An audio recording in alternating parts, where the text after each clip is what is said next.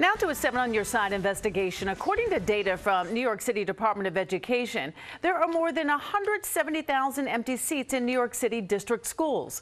Operators of charter schools have been trying to fill those seats with new charter school students.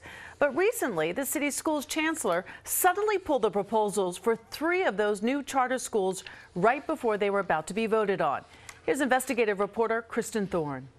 I was searching for different options to apply for kindergarten for my daughter, and I applied to Success Academy. The newest Success Academy charter school was supposed to be located right in Perla Hidalgo's neighborhood in Williamsbridge. The charter school would share a school building with Bronx Green Middle School. It's called co-location. Success Academy already has 46 co-located charter schools throughout the city, and they thought Success Academy Williamsbridge would make sense because Because according to data from the City Department of Ed, there are 922 empty seats in the Bronx Green Middle School building. When Success proposed it about a year ago, they also proposed putting charter schools in a school building in Springfield Gardens, which has 875 empty seats, and in Rochdale, which has 765 empty seats. The three charter schools would have served 1,500 students. But in January, two days before a Department of Ed public hearing on the proposal, the last step in the process, the New York City Schools chancellor suddenly pulled the three charter school proposals from the agenda.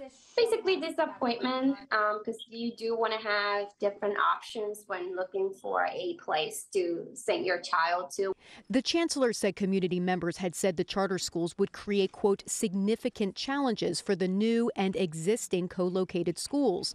The Department of Ed says there were concerns from the school communities about space usage in the building building. The whole thing is really, Kristen, unnecessary. I think that's what is so heartbreaking. There was plenty of space in these proposed sites. We were not taking away a single room from the district school. These parents, um, thousands of them, were expecting these three schools and then 48 hours they were yanked down.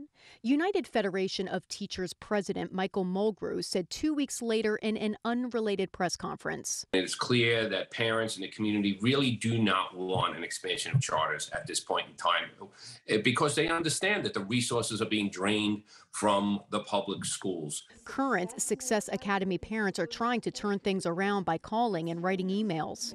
And I was like very distraught when I heard about it. If we have a seat at the table, our children are experiencing it why can't others? I'm hoping that our voice can be heard. Parents need choices. The Department of Education says it is continuing to work with Success Academy to try to find locations for those three charter schools. The school lottery is five weeks away.